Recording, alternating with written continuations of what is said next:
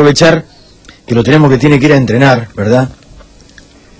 Eh, ¿Te gusta el rugby? ¿Entendés Sí, algo? tengo un sobrino rugby. ¿Ah, sí? Sí. Ah, mira. Edad 20. Qué poquita. Mirá cómo trabaja poquita, ¿eh? eh Manuel Contepomi, buen día. Buen día, ¿cómo andan? Hola. Ahí, ahí escuché, escuché todo lo anterior y en un momento se cortó. Ah, Ah. bien, bien. Este, Pero lo escuché. Ah, bien. Eh, bueno, Manuel, eh, Manuel, decíamos entonces que vos tenías una experiencia muy particular, ¿verdad? En esto de, de cantar el himno, que supongo que como todos lo habrás cantado en tu escuela, en algunos actos y demás. Pero después uno tiene, por diversos motivos en la vida, la oportunidad de cantarlo de manera distinta, en lugares distintos. Sí. Bueno, ¿cómo has vivido vos eh, en tu vida cantar el, el himno argentino? Eh, mira, vos, bien lo dijiste, lo que la, imagen que recorrió el mundo y sobre todo Argentina eh, fue muy notorio eh, lo del mundial, ¿no? Yo te puedo contar esa experiencia y también todo las veces que uno lo vivió en otros partidos internacionales. Ponerse la camiseta argentina y, cantar el himno argentino y, antes de un partido tan importante y representando a Argentina es, es, eh, creo es único, es un momento único. Eh, yo te puedo contar nosotros en la previa a los partidos, en la semana, cuando vas en el, en el colectivo al estadio, eh, en el vestuario, todo estás pensando mucho en la parte técnica, táctica, en el contrario, eh, en, el- en cómo uno va a jugar, pensás parte del partido y demás.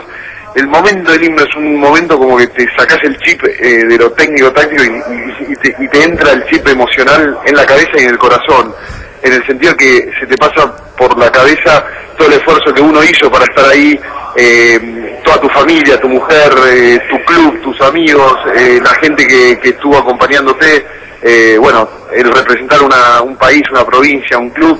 Entonces son muchas emociones juntas que, bueno, que en un momento tan tan tenso como es la previa a un test match o a un, o a un evento deportivo tan tan grande como puede, ser- puede haber sido el mundial, eh, genera capaz esos esos llantos, esas caras que, que bueno todos ustedes pudieron ver, ¿no? Sí, sí, era una imagen, la verdad que era conmovedora, ¿no? Se, Eh, se, se habla a, a veces y con un espíritu eh, crítico, ¿verdad? Respecto de si es bueno que el himno nacional sea cantado en gestas deportivas. En lo per- personal, a mí me parece maravilloso que eso ocurra.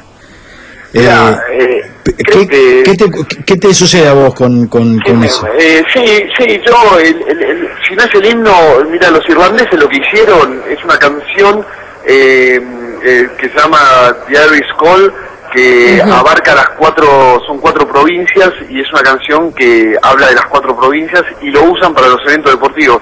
Yo siempre lo pensé, dije, ojalá pueda en un momento presentar ese proyecto de, de hacer una canción eh, para el deporte argentino, ¿no? Ah, mirá. Eh, que sea más. ¿Sabes lo que pasa con el himno argentino? Es muy buen himno, pero eh, es tan largo que vos, eh, si me podés contar cuatro eventos deportivos donde hayan pasado la misma versión de himno, eh, creo que no me lo vas a poder decir porque siempre las versiones son distintas. Eh, Ah, mirá. O, o pasan la introducción, o pasan eh, la parte final, o pasan entero el himno, o entonces es muy variado. Entonces eh, eh, pierde identidad el himno argentino en los eventos deportivos. Entonces yo siempre pensé en, di- habiéndolo vivido eh, muy muy adentro, decir, bueno, ¿por qué no se hace una canción para el deporte argentino eh, hablando de las provincias o hablando, no sé, yo eso ya no, no, no me compete, pero pero sería bueno, ¿no? Como lo hizo Irlanda y también lo hacen otros países de Europa, ¿no?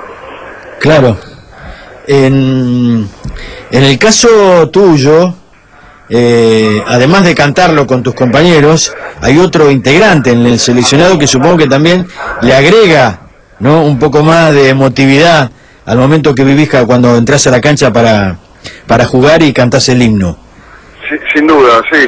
Eh, cantarlo con Felipe, con mi hermano mellizo, eh, abrazado y ahí eh, cerquita, eh, y tan juntos, bueno, eh, de la panza nos conocemos con Felipe y, y compartimos muchas cosas.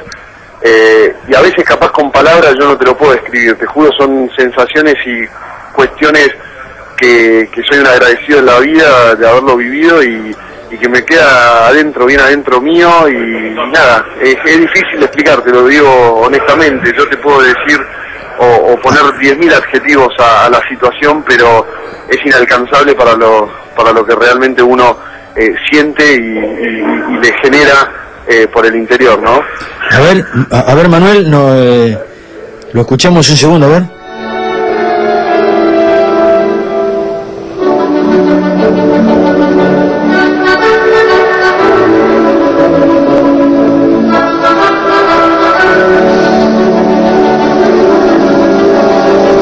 La versión original y en vivo del momento en el que Manuel con su hermano y los demás compañeros están allí abrazados, ¿no? Y que uno los ve desde acá y se te sale todo por, el por la boca, ¿no? Sí, la verdad que nada, lo escuchamos y se las imágenes de, de los vídeos del año pasado. A ver, Manuel.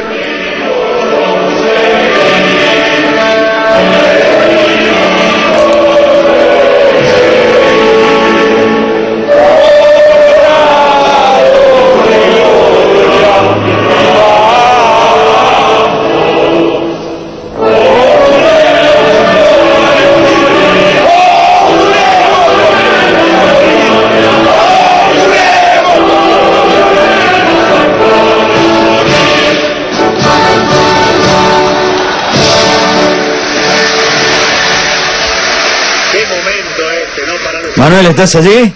Sí, sí, ahí escuché. Qué de recuerdos, ¿no? qué recuerdo, qué recuerdo.